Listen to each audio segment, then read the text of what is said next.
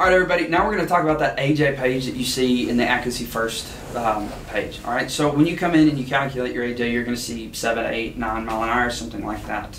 Um, you may see four or five. I don't. I don't know what gun you've got plugged in, but you're going to see some number.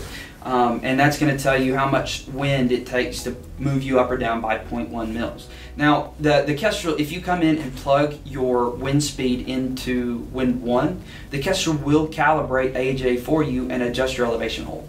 Right, but I never 98% of the time I don't have winds plugged in uh, other than 3 o'clock 4 mile an hour. All right, because I use the Kestrel as a tool and not as a crutch. All right, and um, I need a way of knowing how much to adjust my elevation hold by when I've got some full value wind component, all right, for AJ.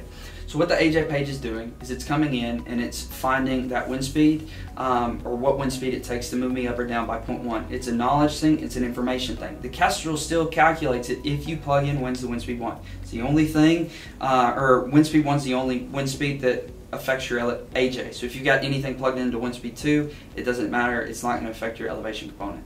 Wind speed 1 is the only thing that affects elevation, whether it's headwinds or tailwinds or uh, aerodynamic jump. But that's that's what AJ's doing. Um, I don't want you to think that the Kestrel doesn't calculate AJ for you. It does. Um, it's just a tool that we teach out at Accuracy First um, and, and a, a method of managing your system and this formula makes it easier for the guys to be able to do that.